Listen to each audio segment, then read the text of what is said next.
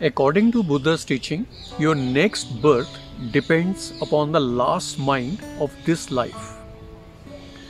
So, the last moments of this very life, if our mind is filled up with anger, hatred, jealousy, then the next birth will happen in hell.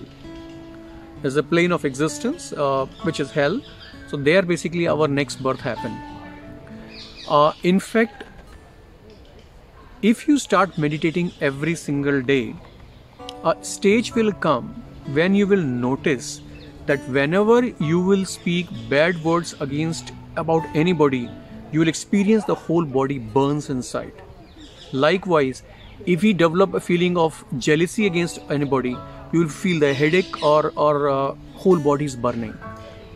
Or if you generate hatred inside our mind against anybody, our body burns.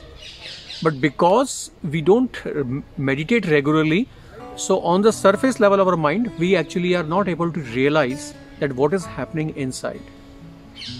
But this ability everybody can develop, and that is why every saintly person of the world has said to the people that don't generate feeling of hatred or jealousy or anger towards other peoples because you are the first person who get harmed because of this if you have any question please write it in the comment section. I'll be happy to reply